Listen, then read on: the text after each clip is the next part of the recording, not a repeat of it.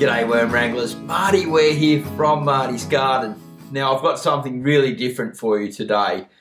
This is, I've never produced a video like this and it has a really unique story and a twist to it really.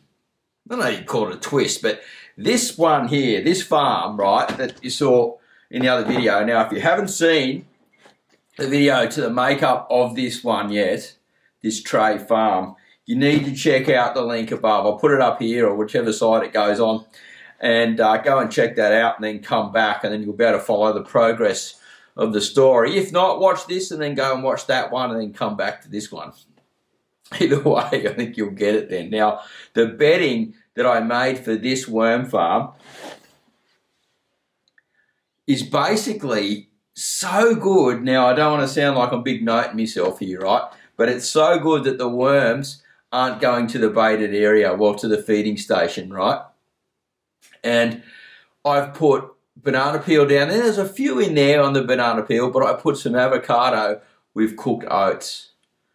Two of the most favourite foods that they love. Now, the bedding that I made out of the cow manure and the different process of putting it together with the coco peat and different things, like I said, check out that video. And there's so much food in there, and the food that's in that bedding, that's actually a part of the bedding, really is what a lot of professional worm farmers would feed their worm farms, right? Such as really aged, aged good old cow manure. They just love that. If they start getting a feast on it, they'll start consuming it. So my guess is they're going to eat all that cow manure first, and then they'll move to the feeding station. They're not even touching the avocado, and it's been in there for about four days or something now. Two days, they're in there, you know, full balled up avocado. But anyway, what I've decided to do, because I can't sort of go through and make this content showing you where the worms are moving and what they're feeding on and things, because they're just feeding all around the bedding, all through the bedding. And uh, I had to add an extra 100 or 200 worms to see if they'll chew through it faster and turn into castings and then we can feed some zones. So what I'm doing is I'm starting this next worm farm here. And this one is going to have a bedding in it that come out of the compost tumbler and it's pretty much nearly sort of 70% worm cast right? From my compost that comes out of home and you know a bit of coffee grounds from the cafes and newspaper cardboard. It's really heavy like it weighs a ton there's probably about eight liters in here and uh, yeah the worms are basically I don't know how many there are in here. I just sort of grab the worms out of the compost tub and of throw it in here and they'll have to go for the food because a lot of the food has run out. It's exhausted in this bedding. And then I'll be able to harvest this bedding really quickly once they go through the foods. And uh, yeah, and turn it into, uh, you know, a bedding to grow plants in, which is going to be really awesome because I want to show you the plants I'm going to grow from this worm farm.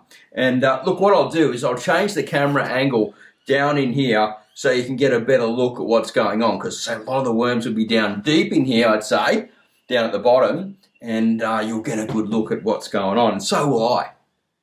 We're going to start this second tray worm farm. Pretty excited.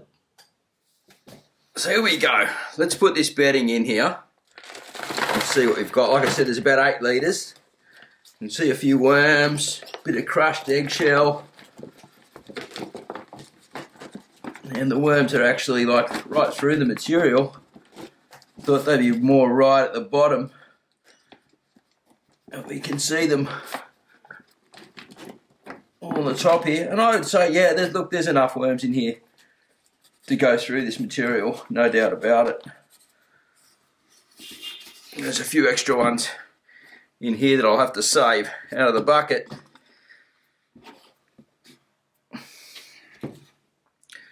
So, yeah, there's enough worms in here and they look like mostly Eisenia foetida and a few different other small ones, maybe some reds and some blues in here as well.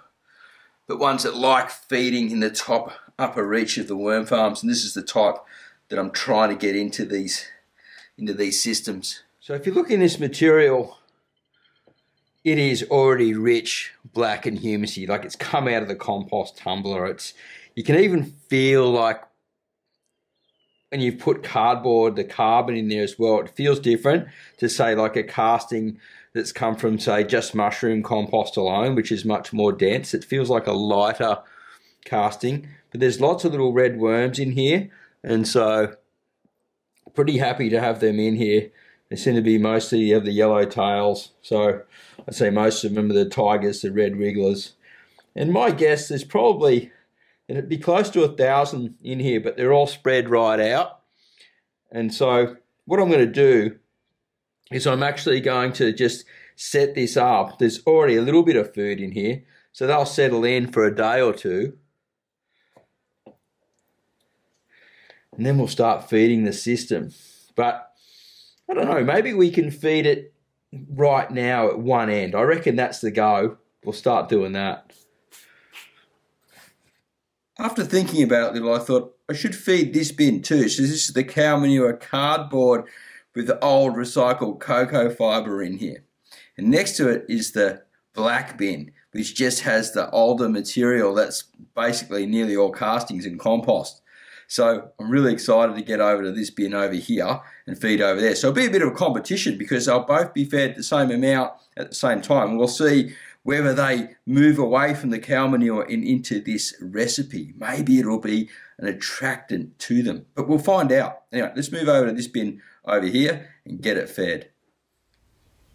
So what will I need for this feeding? Well, I'll need my food, which is the recipe. I will need a water bottle dechlorinated water. It's been sitting for 24 hours.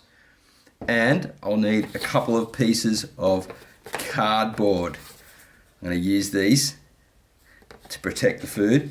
Well, not protect the food, you'll see in a second. So what's in this recipe? Well, we've got about six teaspoons, or tablespoons, sorry, of oats. So it's that quick cooking oats. So I powdered it right down and then around about the same amount of coffee grounds and 10% eggshell. Now, the eggshell is more for the calcium for inside the system, and you know, obviously, there's grit for the coffee grounds, and they love oats, right? So when you cook the oats, they really get into it. And so the theory is is that coffee grounds from the nitrogen should set off the rest of the food in there and the feeding process as soon as it starts getting wet it should start attracting the worms. Coffee grounds seems to have a way of attracting compost worms, which is really exciting. So now what I've got here, I've got this piece of cardboard and I've done this exactly in the blue bin as well. And I'm gonna fold it down and slide it at the back here up against this plastic wall. It's just really so when I go to harvest or I go to look at the worms, I can easily pull it back. And you'll see that in videos when they're coming up. And so I'm gonna fold this back so you can get a better look at the bedding. Now they've all gone down because I've been playing around in here and sort of disturbing it. Actually, I've got the wrong cardboard. This one's, the small one's got to go at the back here.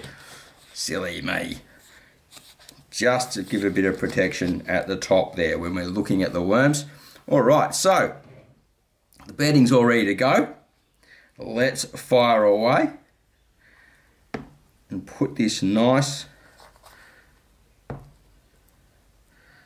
Yummy food. It's like a worm chow, my own first recipe. Let me know what you think about this recipe in the comments box down below. I'm going to put it on nice and thick at one end and then thin it out just a little bit on the edges just to sort of attract them in and give them a little bit of a taste test. And I reckon it'll take them around about two days to sort of move into this. These guys will be hungry. I did leave them for 24 hours before deciding to feed them. So I've come back later and this is my favourite container now for feeding them. Let's get the water bottle, give it a good spray. You want it nice and damp. And there's a whole lot of microbes in this system already, right? Because this come out of the compost tumbler, which is like an amazing system for growing microbes and uh, gets a large, large variety of food in the compost tumbler. So has a large variety of microbes, which are going to be all through this bedding. They're going to come in here now. That's looking nice and wet now. Really happy with that. And I'll come in each day and wet that down.